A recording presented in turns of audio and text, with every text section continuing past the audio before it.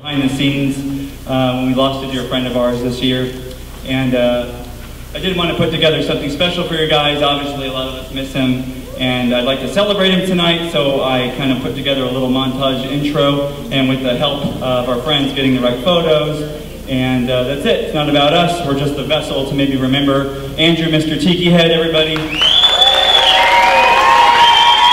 If we could, uh, lights dim the house just a little bit.